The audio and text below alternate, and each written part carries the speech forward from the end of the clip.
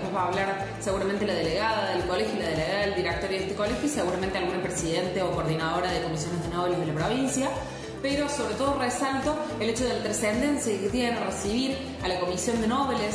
de eh, la provincia y de cada una de las comisiones de nobles de la provincia en un momento en donde existe un lenguaje engañoso, un lenguaje falaz en relación a eh, posibles eh, trámites administrativos para ofrecer divorcios a la ciudadanía o posibles traspasos del trámite de las sucesiones a escribanías o notarios. En ese sentido, resulta trascendental por parte de la abogacía Nobel estos encuentros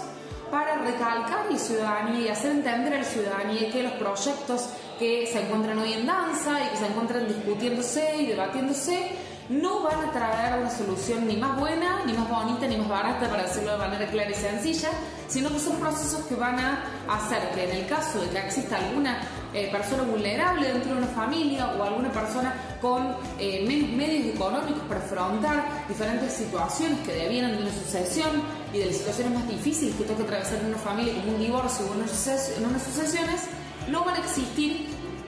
la capacidad necesaria si el trámite no es judicial. Por eso la abogacía tiene que ser la que acompañe a la ciudadanía, tanto en los divorcios, en las sucesiones, como cualquier situación que requiera de la capacidad y de la formación que solo los abogados y abogadas que defendemos los derechos de la ciudadanía tenemos.